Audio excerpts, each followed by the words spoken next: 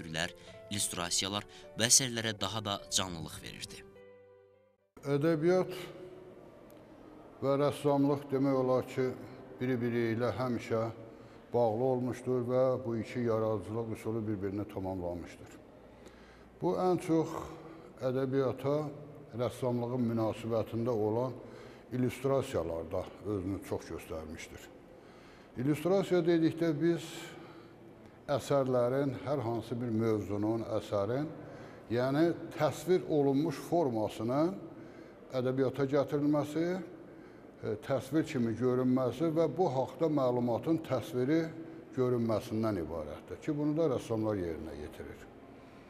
E, lap qədimdən, əvvəldən yaranmış bizim el nağıllarımız, xalq nağıllarımız, dastanlarımız və sonrakı bədii əsərlər, yəni yazıçılarımızın yaratdığı əsərlər, dünya klassiklərinin, Azərbaycan klassiklərinin, şairlərin, yəni bütün yaradıcılıq sahəsində olan ədəbiyyat sahəsinin e, müəlliflərinin əsərlərinə demək olar ki, illüstrasiyalar vardır və bunlar əsərlərin tamamlanması üçün, daha canlı, daha orijinal görünməsi üçün bu illüstrasiyalar böyük rol oynayır. İllüstrasiya təsvir incəsənətin bir növüdür və ə, mən deyərdim ki, artıq Azərbaycanda qədim dövrlərdən bəri məhz biz onun nümunələrini görə bilərik. Belə ki, bilirsiniz, illüstrasiyadan ümumiyyətlə geniş insan kütləsinə, məsələn, hər hansı bir mövzunu çatdırmaq üçün istifadə edirdilər.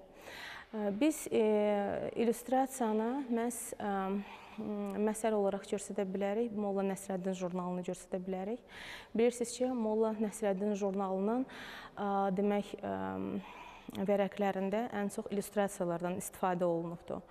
Nə üçün istifadə olunubdur? Çünki demək xalq kütləsinə bizim hər, hər hansı bir mövzunu çatdırmaq üçün illüstrasiyadan geniş istifadə eləyirdi rəssamlar və təbii olaraq yazı ilə yox, məhz elə rəsmlə həmin mövzunu insanlara çatdırırdılar.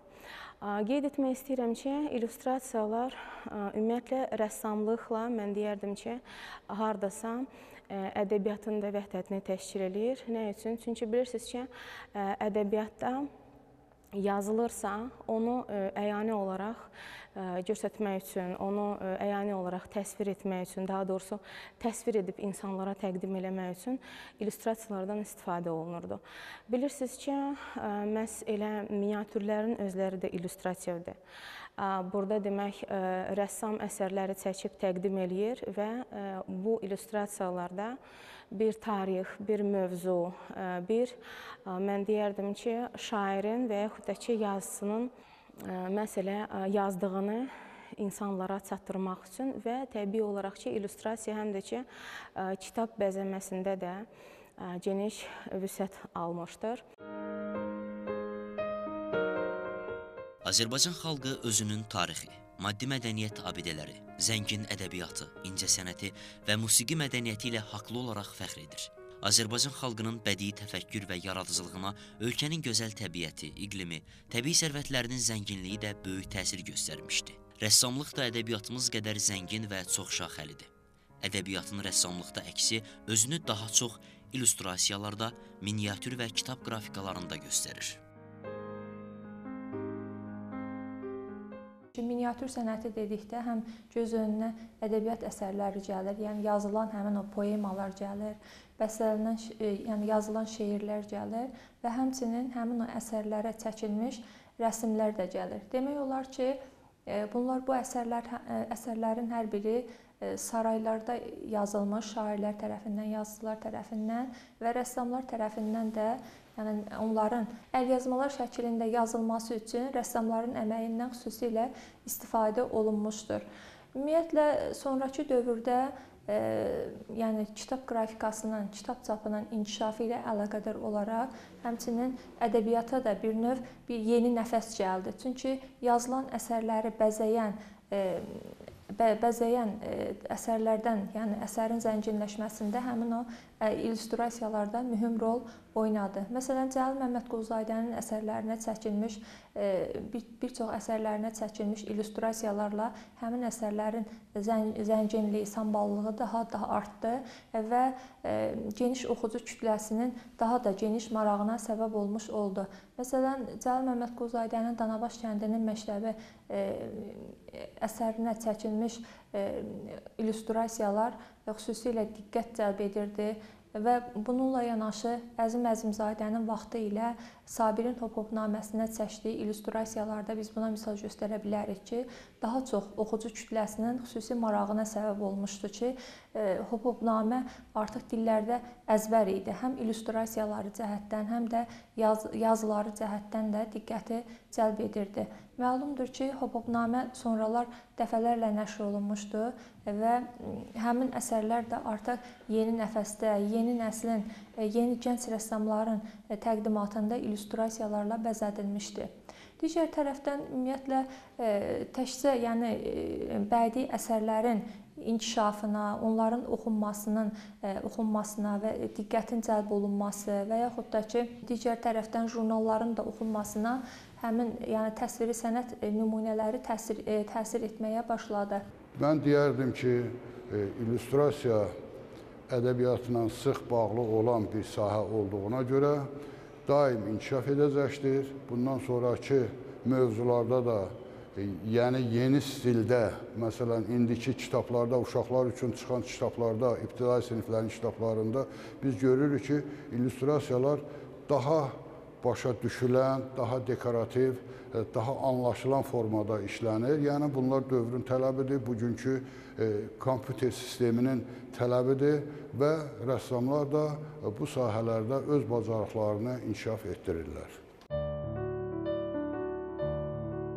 Ədəbiyyatın rəssamlıqda əks olunması əslində həmin oxucu üçün hər hansı bir obrazın təxəyyül şəklində canlandırılmasıdır. Oxucu əsəri oxuduqca öz beynində həmin obrazın zahiri görkəmini, xarakterini formalaşdırırsa, rəssam bunu oxucuya nisbətən daha dəqiq çalarlarla göstərir. Ümumiyyətlə mən deyərdim ki, e, elə bir rəssam yoxdur ki, onun həyatında illüstrasiya və qrafika yer tutmasın. Hər bir rəssam mən elə bilirəm ki, hər hansı bir kitaba, hər hansı bir mövzuya mütləq olaraq illüstrasiya işləyir və daha çox demək Hüseyn Zavidin əsərlərinə biz ümumiyyətlə ədəbiyyatda tez-tez rastlaşırıq. Yəni bizim rəssamlarımız tez-tez müraciət eləyirlər o mövzulara və demək əsasən orada yəni süjet xətti üzrə çəkilmiş əsərlər olur. Yəni məsələn hər hansı bir şairin və yaxud da ki hər hansı bir bədii ədəbiyyatın məsələn kitabını bəzəmək üçün o əsərlərdən istifadə olunur və təbii olaraq ki, onlar məsələn süjet xəttini əhatə etməlidirlər. Və inanıram ki, rəssamlarımızda bu alınır. Çünki ümumiyyətlə rəngli kitabları oxumaq və onlara maraq oyatmaq daha asandır. Və mən elə bilirəm ki, gələcəkdə də bizim rəssamlarımız kitab illüstrasiyası, demək, təsvir sənətin bu növünə də daha geniş olaraq müraciət eləyəcəklər. Azərbaycan rəssamlığında illüstrasiyanın tarixi çox qədimlərə dayanır. Hələ rəssamlarımızın Kitabi-Dədə Qorqud dastanı əsasında çəkdikləri illüstrasiyalar, bir çox miniatür sənətləri bu iki sənətin vəhdətidir. Sonrakı dövrlərdə Molla Nəsrəddin jurnalına çəkilən illüstrasiyalar görkəmli rəssam Əzim Əzimzadənin Sabirin Hopopnaməsinə çəkdiyi illüstrasiyalar oxucular və tamaşaçılar üçün dəyərli əsərlərdir. Rəssamların da əl işləri, yəni ədəbiyyat əsərlərində xüsusi bir tələb rolunu oynamağa başladı. Məsələn, Molla Nəsrəddin jurnalının çapına diqqətimi yönəltmək istərdim. Çünki Molla Nəsrəddin jurnalı bilirik ki, illüstrasiyalarla zəngin olan jurnallarımızdan biridir ki, demək olar ki, uzun illər Molla Nəsrəddin jurnalı nəşr olundu və həmin o səhifələri bəzəyən də bizim yəni Azərbaycanın tanınmış rəssamlarının əl işləri idi və Molla Nəsrəddin jurnalının sevilməsində də, elə orada yazıçıların, şairlərin əsərlərinin oxunmasında da, xalqın maarifləndirilməsində də həmin o illüstrasiyalar, karikatura janrında çəkilmiş təsviri sənət nümunələri də yəni əvəzsiz rol oynamışdı. Bu gün Naxçıvan rəssamları da məhz kitab qrafikasına, kitab illüstrasiyasına geniş yer verirlər. Çünki bilirsiniz, ümumiyyətlə rəssam bir əsəri işləyəndə mütləq olaraq nəyəsə istinad eləyib onu işləyir. Məsələn, istər təbiətdən həvəslənərək, istərsə də hansı şairin və yaxud da ki, hansı yazısının məsələn bir əsərini oxuyub ondan təsirlənərək, yəni ona illüstrasiyalar işləyə bilər. Məsələn, bugünkü dövrdə oxuduğumuz kitablarda, məsələn, istər Paulo Coelho olsun, istər e, digər yazıçılar olsun, onların əsərlərinə də məhz illüstrasiyalar işlənir və həmin illüstrasiyalarda mövzunun ağırlığını və yorğunluğunu götürür üzərinə. Yəni e, illüstrasiyaya baxanda biz e, məsələn həm mövzunu, həm də ki, ordakı personajları, ordakı ümumiyyətlə gedən o süjeti, o prosesi biz görə bilərik. Yəni tam olaraq da yox, amma epizodik şəkildə biz onu görə bilirik. Və təbii olaraq illüstrasiya rəssamın işi olduğuna görə və bu bu gün də elə rəngli illüstrasiyalara daha böyük demək yer verilir. Ümumiyyətlə həm də ki, məhz elə rəssamın təxəyyülünü də biz orada görə bilərik. Bu gün Naxçıvan rəssamlarımızın məsələn işlədiyi bir çox şairlərin məsələn kitablarına işlədiyi illüstrasiyalar, nağıl kitablarına işlədiyi illüstrasiyalar. Məsələn mən qeyd edə bilərəm Əli Səfərlinin məsələn uşaq kitablarına işlədiyi illüstrasiyalar və yaxud da ki Araz Xudiyevin uşaq kitablarına işlədiyi illüstrasiyalar. Bunlar uşaqların, yəni o kitabları oxuyub və onları mənimsəməkdə böyük bir rolu vardı. Çünki orada əyani olaraq görürlər. Yəni e, o oxuduqlarını həm də ki təsvir edə bilirlər. Rəssamlığın çalarlarını ədəbiyyat nümunələri içərisində daha çox nağıllarda görmək mümkündür. Nağıl qəhrəmanlarının prototipinin yaradılması daha çox azyaşlı oxucuların həmin müsbət obrazı sevməsi və ədəbi qəhrəman olan rəğbətini daha da artırır. Nağıllarda məsələn Məlik Məmməd nağılı haqqında əgər illüstrasiya olmasaydı, sadəcə e, bir sözlərdən ibarət fikri e, deyək ki, e, oxucu onun ancaq mövzusunu, məzmununu oxumaqla kifayətlənərdi. Ancaq orada yaranmış illüstrasiyalar əsərin daha bədii, dolğun, hadisələrin orijinal görünməsi üçün, gərginliyi görmək üçün, yəni bütün səhnələri demək olar ki, E, bir film kadrı kimi görməsi üçün illüstrasiyalar vardır ki, bu illüstrasiyalar da əsərin tamamlanmasını təşkil edir. E, illüstrasiya isə ümumiyyətlə daha çox bugünkü dövrdə uşaq kitablarında daha çox özünün e, demək əksini tapıbdı. O da uşaqların məsələn nağılları oxuyub onu düzgün məsələn başa düşmək üçün həmin demək illüstrasiyalara baxıb onu hardasa əyani olaraq təsvir etmək üçün məhz seçilir. Bilirsiniz ki, görkəmli şairlərin demək və görkəmli yazıçıların əsərlərinə istər Nizaminin, istər Füzulinin, istərsə də Hüseyn Cavidin demək əsərlərinə bir çox rəssamlar məhz illüstrasiyalar eləyiblər və bunu istər qrafik üsulda ağ-qara formasında, istərsə də rəngli formada demək çəkiblər. Ümumiyyətlə qeyd etmək lazımdır ki, orta əsrlərdə artıq dini kitablardır və bir çox mövzulu kitablara, məsələn, qraf qrafika üsulu ilə ağ-qara formasında və sonralar isə rəngli formada, demək, illüstrasiyalar verilirdi. Biz burada Dürer'in, biz burada Picasso-nun, biz burada Rembrandtın əsərlərinin adını çəkə bilərik. Və ümumiyyətlə sonradan indiki dövrdə məhz e, çox gözəl kitab e, illüstrasiya işləyən rəssamlar vardı ki, bunlara məsələn daxil olur. Məsələn Arif Hüseynovu biz daxil edə bilərik.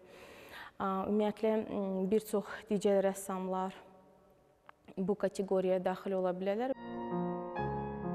Ədəbiyyatımızın rəssamlıqda əksi keçmiş ənənələrə sadiq qalaraq bu gün də Azərbaycanlı rəssamlar tərəfindən uğurla davam və inkişaf etdirilir. Azərbaycan rəssamlığında bu mövzuda əsərlər çəkilib və çəkilir. Azərbaycan rəssamlığında illüstrasiya mövzusunda işləyən çoxlu rəssamlar vardır. Məsələn, bu rəssamlardan mən ən çox Oqtay Sadıqzadəni misal götürə bilərdim ki, Oqtay Sadıqzadənin yaradıcılığı demək olar ki, əsasən illüstrasiyalar üzərində qurulmuşdur. Məsələn, Oqtay Sadıqzadənin biz bir çoxlu əsərlərinə e, biz istər xarici yazıçılar, istər e, Azərbaycan yazıçılarının əsərlərinə çəkdiyi illüstrasiyalardan e, müəllifin əsərləri necə dolğun, canlı, dinamik hərəkətləri, faciəni, gülüş doğuran hadisələri, komik hadisələri hamısını olduğu kimi real bir surətdə, canlı bir surətdə təsvir etməklə əsəri daha canlı, orijinal edə bilmişdir.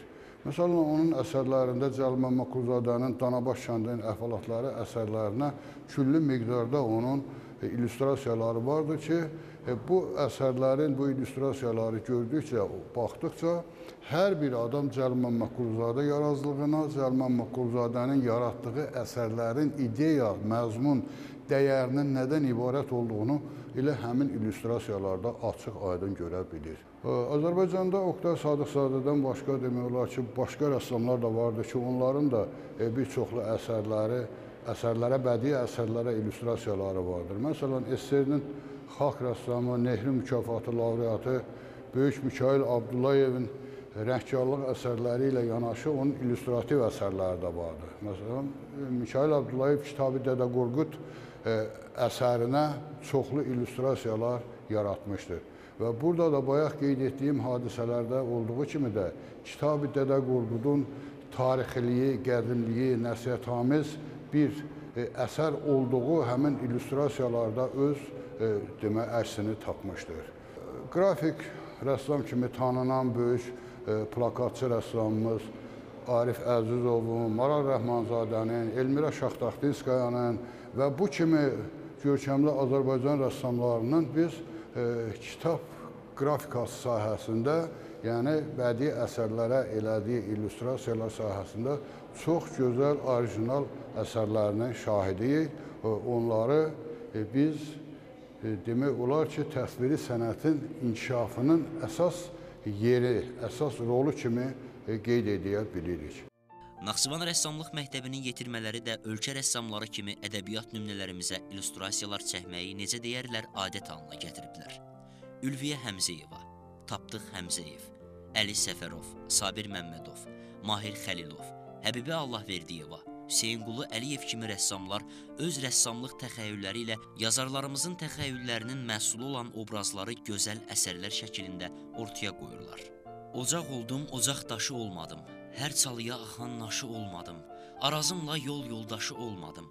Bu da belə bir ömürdür yaşadım deyən dahi şairimiz Məmməd Arazın yaradıcılığına rəssam Kirman Abdinin çəkdiyi illüstrasiyalar da bu baxımdan dəyərli əsərlərdir. Mən özüm də qrafika sahəsində, illüstrasiya sahəsində bəzi e, demək müəlliflərin əsərlərinə müraciət etmişəm. E, məsələn, bizim universitetinin e, professoru vardı, Əjdər İsmailov. Onun Cavidin əsərlərinə aid demonizmi, Cavid və demonizmi əsərlərinə mən özüm də illüstrasiyalar etmişəm ki, bu illüstrasiyalar e, demək Əjdər müəllimlə mənim aramda olan fikirlərin, onun bədii yaradıcılığının, Caviddə olan demonizmin hansı fikirlərlə gördüyünün təhlilin mənə çatdırandan sonra mən özüm də əsərlə tanış olmuşam və buna uyğun olaraq demək olar ki, bir bədii formanı, illüstrativ formanı e, demək illüstrasiya kimi həmin əsərə verə bilmişik. E, bundan başqa bir neçə bədii lirik əsərlərə də illüstrasiya etmişəm. Naxçıvanda bəzi rəssamlar var. Məsələn, Əli Səfərli kimi Naxçıvanın əməkdar rəssamı Əli Səfərli kimi rəssamımız var ki, o da kitab illüstrasiyası ilə məşğul olub. E, bir neçə kitablara e, kiçik illüstrasiyalar, məzmunlu illüstrasiyalar e, etməyi bacarır. O uşaq nağıllarına, dastanlara, belə bu cür mövzulara illüstrasiyaları çox bacarıqla edən rəssamlarımızdandır. Rəssamlıqda ədəbiyyatın əksi özünü daha çox ədəbiyyatdan doğan teatr rəssamlığında da göstərir. Hər hansı bir tamaşanın yaxşı alınması üçün orada aktyorların peşəkar ifaları ilə yanaşı, peşəkar bir rəssamın əl işi də dayanır. Bundan başqa, Azərbaycan filmlərində də istifadə olunan rəsm işləri, cizgi film illüstrasiyaları ədəbiyyatla rəssamlığın paralel bir sahə olmasının əyani təzahürüdür. Yazılan ümumiyyətlə əsərlərin, yəni tamaşa üçün yazılan pyeslərin sonradan tamaşaya qoyulmasında və tamaşaçılara çatdırılmasında həmçinin rəssamların da əvəzsiz rolu vardı. Çünki burada həmin o əsərdə deyilənləri, yazılanları təsviri sənət dili ilə çatdırmaq da mühüm əhəmiyyətli rola malik olmuşdu. Bu gün biz Naxçıvan Muxtar Respublikasında bir çox muzeyləri gəzərkən orada rəssamlarımızın vaxtı ilə elə indinin özündə də qorunan bir çox illüstrasiyalarına rast gəlirik ki, bu illüstrasiyalar sonradan, yəni sonrakı etapda həmin o səhnəni bəzəmək üçün istifadə olunur. Məsələn, geyim eskizlərində və yaxud da ki, səhnə dekorasiyasında əhəmiyyətli rol oynamış olur. Və digər tərəfdən, yəni o bədii əsərin, yəni pyesin tamaşada canlandırılması üçün, daha da tamaşa tamaşaçılara daha aydın şəkildə çatdırılması üçün artıq təsviri sənət təsviri sənət öz sözünü demiş olur. Yəni rəssamlar burada əsas sözü demiş olurlar. Bu gün də ümumiyyətlə bədii əsərlər yazılarkən, ümumiyyətlə onların oxunmasında həm kitab üz qabıqlarının xüsusilə yəni rəssamlarımız tərəfindən düzdür, bir qədər fərqli şəkildə artıq inkişaf edir. Çünki foto sənətinin inkişafı da artıq digər tərəfdən, yəni yazılan əsərlərdə onların nəşrinə də başqa yöndən inkişafına təsir etmiş olubdu. Amma digər tərəfdən də rəssamların da əl işləri burada mühüm rol oynayıbdı. Bir sözlə demək olar ki, ədəbiyyatımızın həyatımızda rolu böyükdür. Ədəbiyyat şairləri, yazıçıları təbə gətirdiyi kimi, musiqiçiləri, rejissorları, teatrşünasları ilhamlandırdığı kimi, rəssamları da öz rəngli dünyasına aparır.